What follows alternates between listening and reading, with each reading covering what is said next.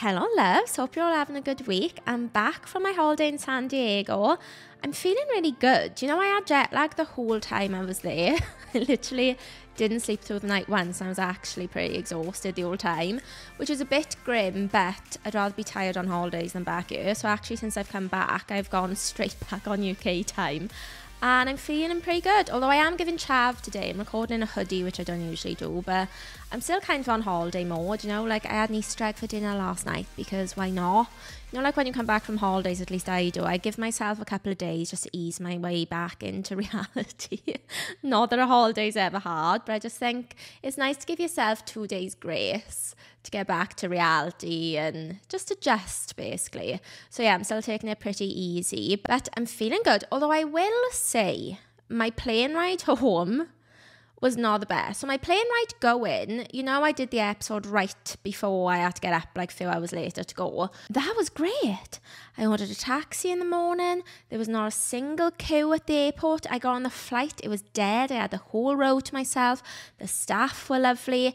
It was great coming back was it was like I was on the flight of the year or something. There was non empty seat on that plane. It was absolutely rammed. But you know what? I dealt with it wherever. I sat down with my dinner. I had a little glass of red wine. Um, I thought I'm gonna have some wine with my dinner, help me sleep watch a bit of TV. A hostess give me two bottles of wine. I was like, Susan, it's not necessary, but if you insist, I will obviously drink it. So I'm sitting there. I've just finished my food, which was um, vegetarian noodles, which low-key was one of the best meals I've ever had on a flight. It was so good. Um, just finishing. I'm sipping my wine. This man comes along with a child. And I was already thinking, why is this child roaming around the aisles of a rammed flight at night time? I'm going to be honest, I didn't want her anywhere near me. As soon as I saw her, I thought, no, not tonight. Not tonight. But anyway, obviously she came, went to see Grandma. I assume that was the dynamics. I was thinking, Grandma doesn't want to see this child either. She probably had the kid the whole trip. She probably sat on the flight thinking, oh, thank God now I can have some relaxing time off grandma duty. No, an hour in, the kid's by her feet giving her a hug. I'm like, get over it. Anyway, so I was a little bit cranky at the thought. Then the child bangs into my tray and tips my glass of red wine all over me.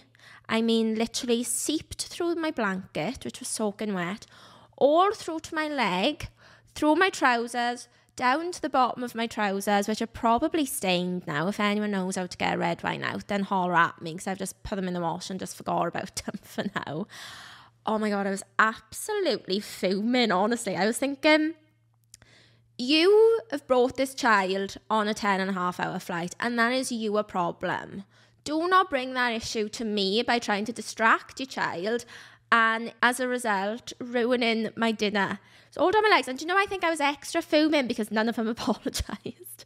None of them. Grandma didn't even give me a second look. The father, I think, just felt awkward. The girl, like, just looked at me and then left, or like she literally left.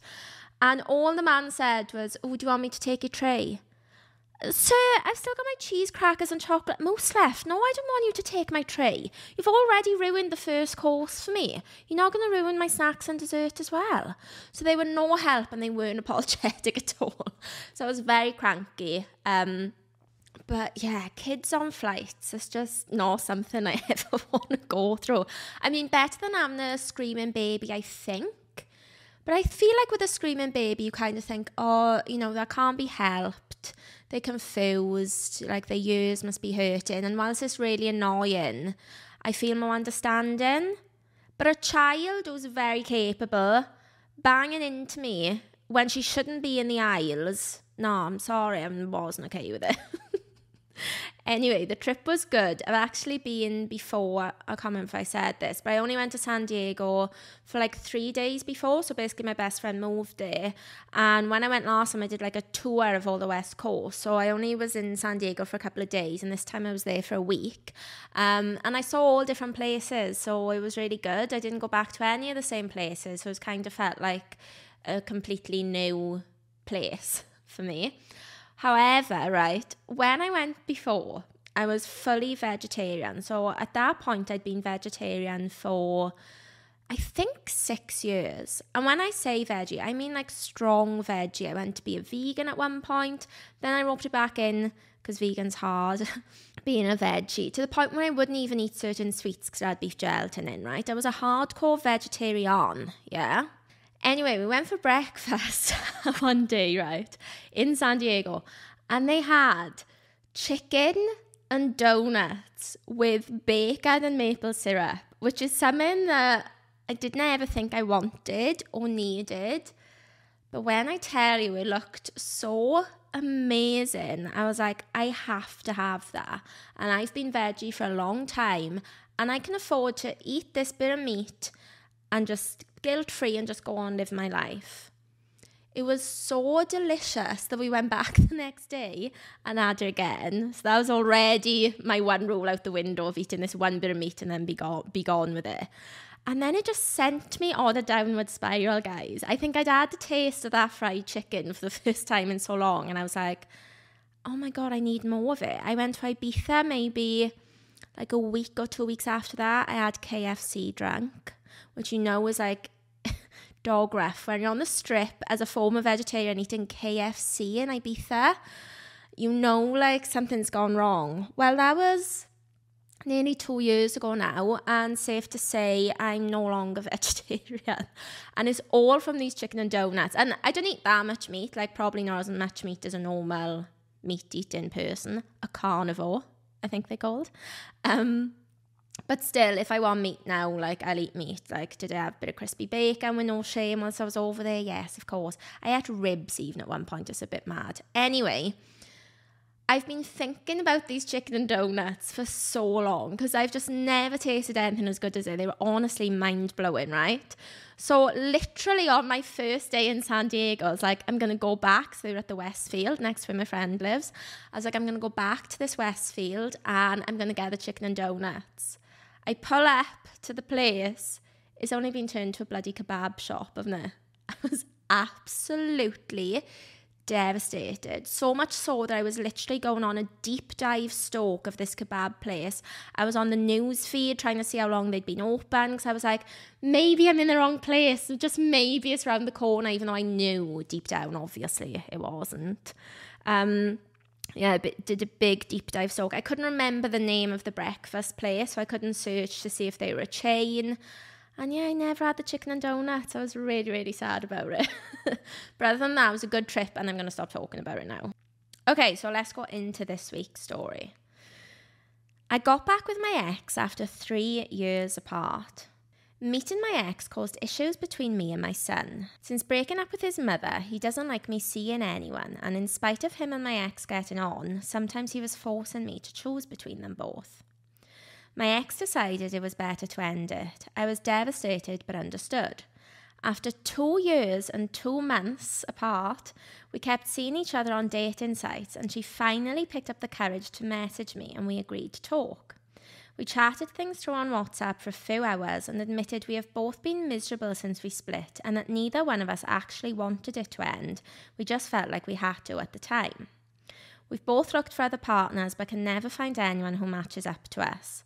We finally agreed to meet up and saw each other three times the same week and told each other we love each other this morning.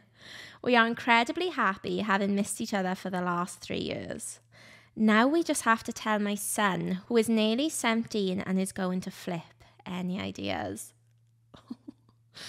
oh, this is something like I can't relate to because I never went through it when I was younger, but I can imagine at that age, like 17, is such a tricky age when you're in your teens and when you're younger. And I kind of feel like all you'd probably want is your parents to be together. And then if one of your parents goes with somebody else, I imagine does feel like a bit of a betrayal because I don't know if they're always hoping that their parents are going to get back together or just it is like a betrayal, and it? It's like it's like if my parents split up and then well now is different because I'm in my 30s, so I'd be like wherever you do you and be happy. But I think, but I think as a child I would be like if my father got with another woman, that would be more hurtful for me. If my father got with another woman, I would be like, what about mommy? Or she'll never be like mommy. I think I probably would be a bit like that. It's just when you're younger. When you're older, I don't think there's an excuse because when you're older, you understand a lot more. I can't imagine if my parents split up now and then my mother got with somebody else or my father. I can't imagine being like, you know, feeling betrayed or anything. But when you're younger, it's a hard age. But also, you can't stop living your life for a child. well, I sound like I'm going to be a really selfish mother, and I absolutely wouldn't be. But given my story from the plane, and now I'm like, you can't stop living your life for a child. But you can't really, can you? And also, 17, you, you know, you're becoming an adult. A few, in a few years, he will understand. Like, he's only a few years off understanding, I feel. I don't know, I could be wrong, but surely he's only a few years off understanding. And you've already split up. This is the thing I think. You've already split up with somebody because you feel like you've got to do it. And you've both been unhappy for the last three years. And as happy as you are now, like, I, I wonder if there's a thing where you kind of feel like you've missed out on three years. Like, I see stories like this. I saw one on TikTok the other day of this couple, they were in their 50s, I think. And they said that they split up when they were I can't remember, like 18 or something. Like they split up when they were really young and then go with other people, got married, fully had kids, and then come back together. And now they're like happier than they've ever been.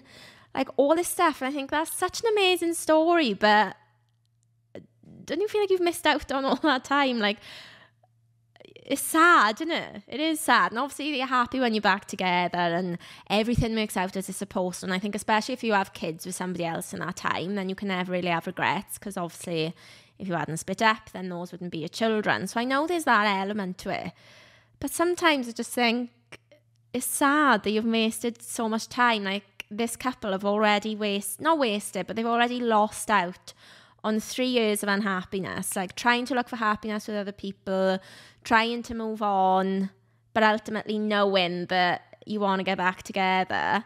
And three years has passed, which is quite a long time. So you can't give up more time for your son. He's going to have to just deal with it, I'm afraid. I would just sit down and say, look, when as you start to get older, you're going to understand that love is complicated and love is rare. And when you meet somebody that is really special and that you love and you think is worth kind of fighting for, you are going to have to, you know, go for it basically and deal with the consequences later. And as you guess, I would say, like, as you get older, you're going to understand. And this has got nothing to do with the love I had for your mother, but it's ultimately just, yeah, what you need to do. I mean, people do a lot worse. People have full on affairs and families. Like when they've got kids and they go with somebody else. I know, literally, I know people that have had affairs whilst their kids basically they've been with with their partner and had kids and then had affairs and the kids are dealt with that so you should just be grateful that you know you're not doing any of that really and you're able to meet somebody because i've like especially as you get older it's harder to meet people, isn't it? You don't go out as much. There's, I don't know, are there less single people about when you're older? Maybe, I don't know. I just feel like it's hard and you should be happy for you that you you can find somebody else. What's the alternative? Being by yourself and miserable. It's just not worth it, is it? Do you know what it's given, actually, one day? You know the phenomenon that is on Netflix right now. So I haven't actually well no, let me backtrack. I heard this thing, this program is out, yeah, right up my street, obviously, a romantic story, love it, yeah. It's called One Day on Netflix. You've all probably seen it, if not, you've been under a rock because it's been everywhere, all over social media, yeah. And I went off my friends and we were like, right, we should watch one day the series. Yeah, we should. And then because I was only over there for a couple of nights, we were like, actually, there's a film. Why don't we watch the film together? Because then the series, like, we might not finish it or we might get bored of it, whatever. Let's just watch the film. So, all up for that. I put the film on.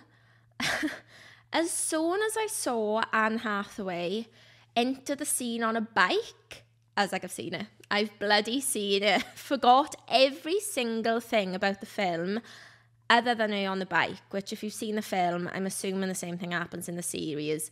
you'll know why it's so monumental, right?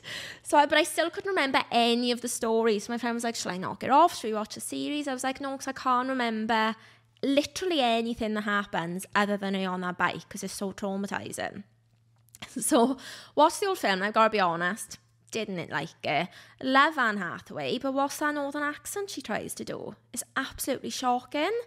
Not that I can do accents, but uh, why didn't they just leave her American? I, I know it's based on a book, but leave her American or get a northern actress or or an English actress if that's really important to you. But the accent was very off-putting, and because it's an because it was old, I could tell it was dated. It was very typical, like girl is nerdy and goofy, uh, but the guy is hot and he goes around and sleeps with everyone because he's not ready. And it was just a little bit too stereotypical for me. So, anyway, I'm giving the series a chance now, even though I know what happens. And I'm about three episodes in.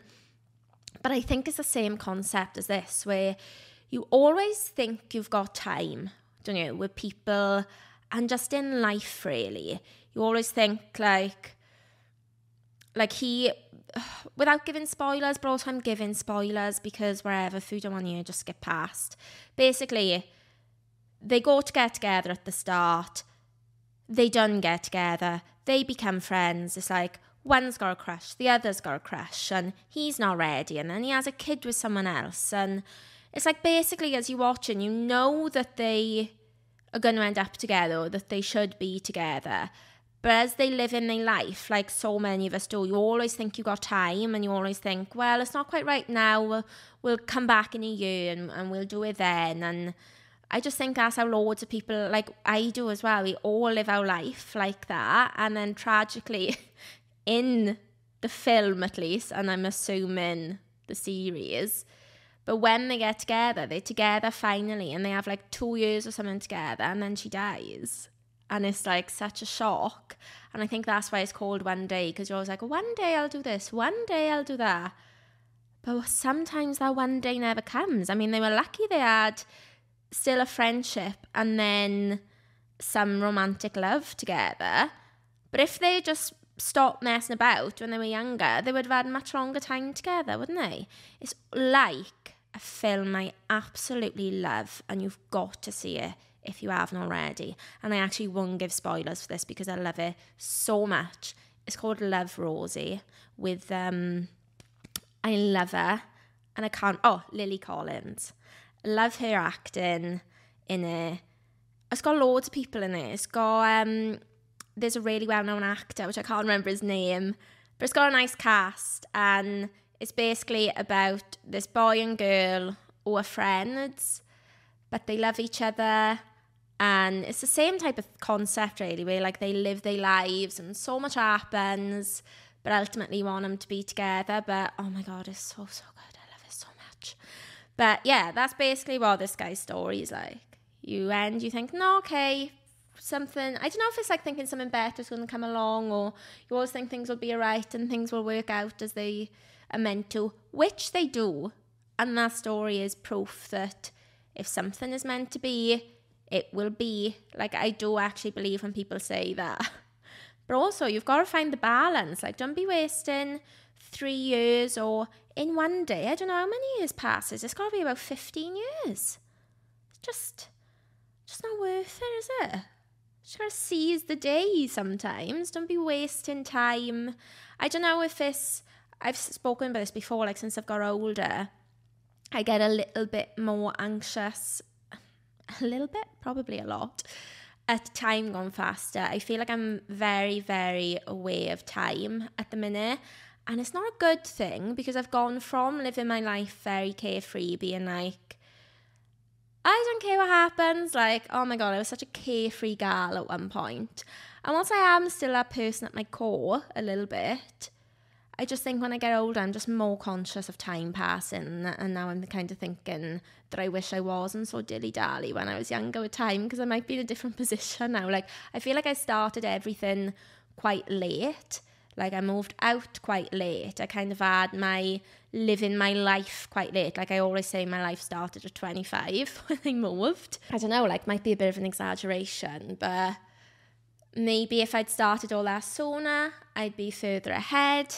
Now, I don't know, it's very hard to say, and I, obviously I have no regrets, but yeah, I guess my point is that if you feel so strongly about something, don't let three years pass you by for for what to end up in back in the same position that you could have been two years at least prior.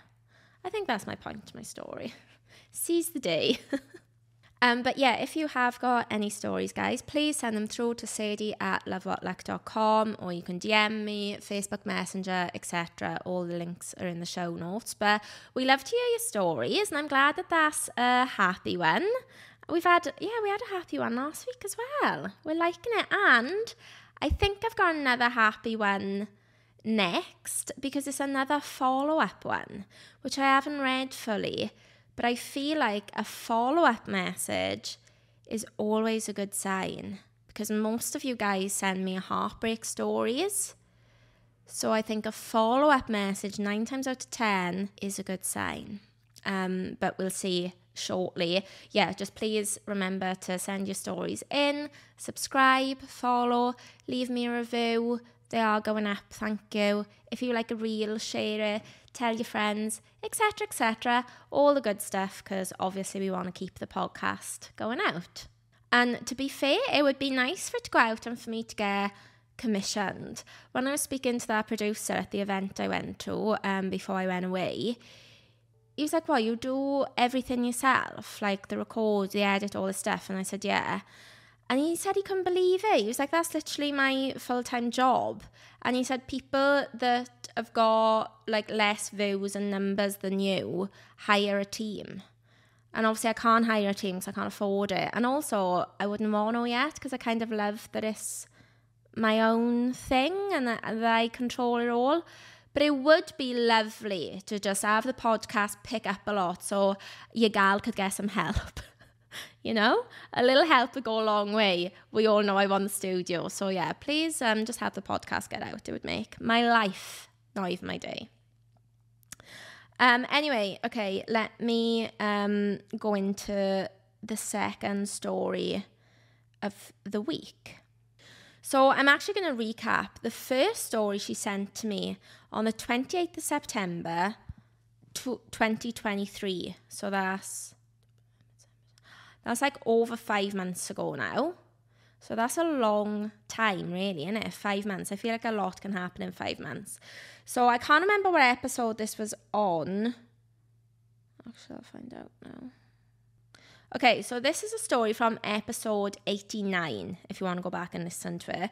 But I'll quickly read it out. Um, she said, I was with my ex partner for nearly 11 years. I was with him from when I was 17 right up to 28 been emotionally and physically abused by him, not to mention controlled on who was allowed in my life, including my own parents. He didn't become violent until I had our baby girl when she turned six months old. I remember this because I remember feeling really shocked at that and how surprising it was that somebody couldn't turn violent until that late in the relationship because by that point I think you would just feel completely trapped, like it's so bad. Um, she said, The thing that still makes me angry is two years later, I'm still hiding from him. I've had to move six times until I finally got my permanent home.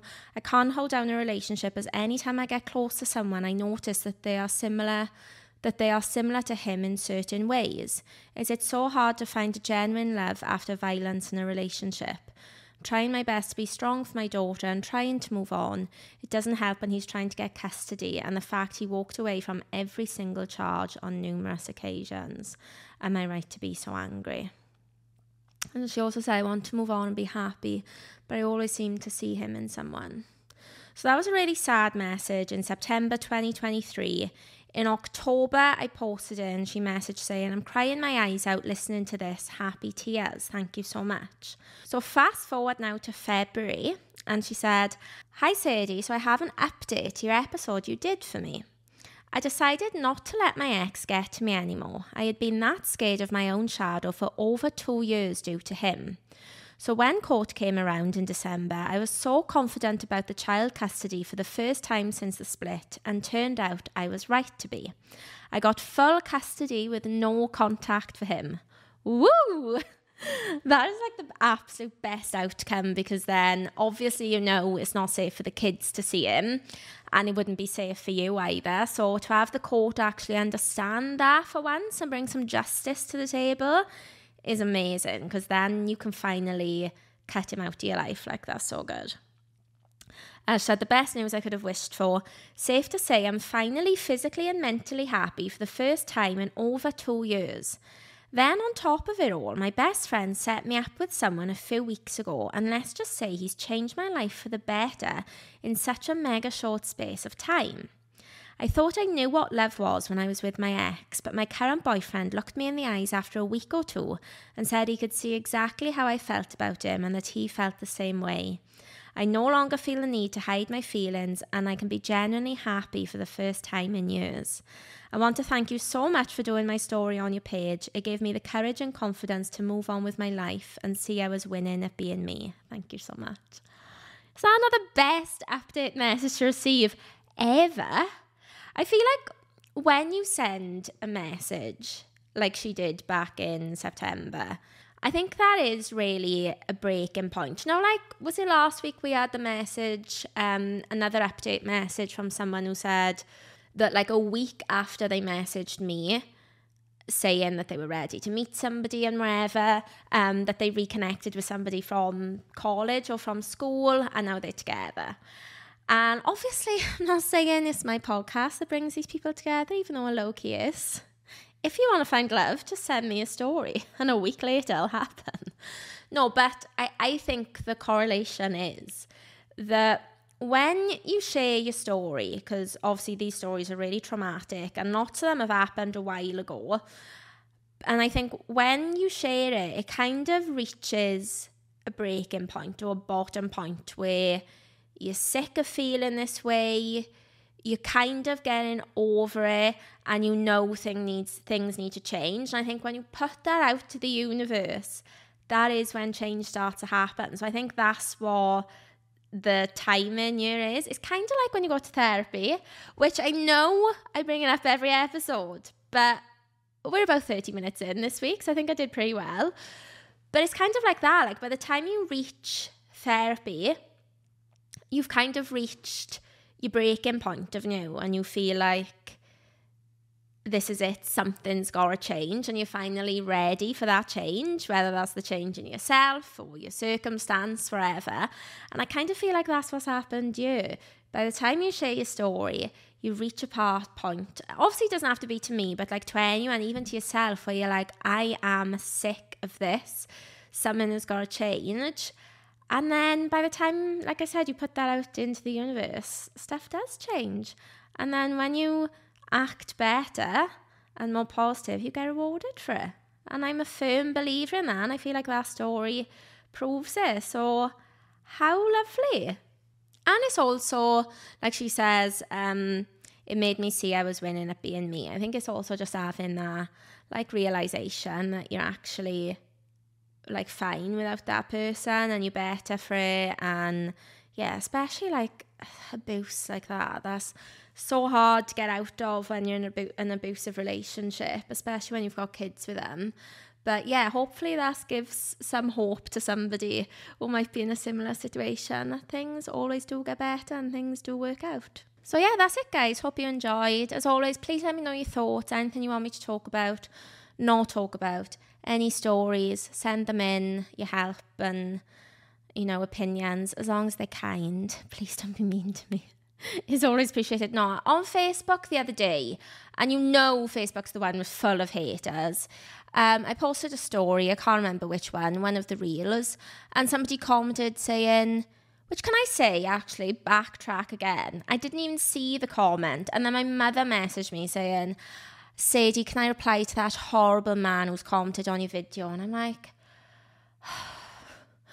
if I haven't seen a negative comment, leave it that way. Because sometimes it's better that I don't see them or I don't react. I don't always like. Sometimes I delete them. But to be fair, I haven't even deleted one in ages. One commented the other day saying it was a story about being cheated on, and some guy commented saying I would cheat too if she had that accent. And do you know what? I thought it actually made me laugh, and I was like, I'm not even going to respond, or I'm not going to delete. It's like the only comment on the video, and I was like, I can't even be asked. so I left it there. But if it gets brought to my attention like that, then I feel like I have to reply. I replied with a thumbs up to this guy that I'm going to tell you about now. He basically he he messaged something like a picture of something saying "f off." Firstly, that's what I said. F off I will not have my Facebook filled with ads and all this stuff. And I'm like, mate, if you don't want it filled with videos from people like me, don't comment on them. So stupid you. I just replied with all the thumbs up, my favourite my favourite sarcastic emoji. Um what was the point to that? Oh yeah, be kind to me. yeah, if you've got any opinions, then let me know in a very nice and productive way if you don't mind. And yeah, I think I will wrap it up. But I have to tell you, I don't know if some of you saw on my Instagram. Um, I went to a line bar in San Diego because you should know by now I'm a huge Beyonce fan, huge. I hope you do now. If you don't, then you should know. And I don't know if I've already spoken about it, but she's released country music, and I've fully gone into my country girl era. And I got dressed up in a cow print bandeau top and um, and some boots. I wanted to get cowboy boots, but I couldn't see any I liked before I went. And I went to a line dancing bar, and it was the funniest thing. Firstly, it was so hard. Line dancing, I always thought was quite easy. Easy, it is not. There's some skill underneath those cowboy boots, like those cowboy hips don't lie it was really hard. I was absolutely rubbish at it. And I used to do dancing. Like, it's not like I haven't got a bit of rhythm in me. Do you know what I mean? I could not do it. I couldn't pick it up. And they were saying terms, which obviously we didn't have a clue what it was, like roundhouse stomp and pony. and all this stuff. And we like didn't have a clue what was going on. But it was, can I just say, the place to be. If you were a cowgirl and you want to meet a fellow cowboy, I think people go there to pull and like to have a dance together because not like back here, I feel like men don't really dance. If you're in the club, they do, but not really. And girls are so funny with like getting icks and things. I just don't think it's the type of thing when you see a boy dancing and you're like, mm, that's what I want they was different. They were in a feminine cowgirl eras dancing on that floor. And it was like a hot thing, like you could tell. Like the girls were looking at the guys and then they were asking them to dance and like they just dance in a line together very, very seriously. And then get off with each other, basically. It was Wild Wild West scenes, isn't it? But so much fun. Um, and yeah, I just wanted to tell you. But I will wrap it up. I'm sure I will have more stories that come out over the next few weeks. But I hope you've had a good week. And yeah, please remember to subscribe and follow if you're not already. And I'll speak to you next week.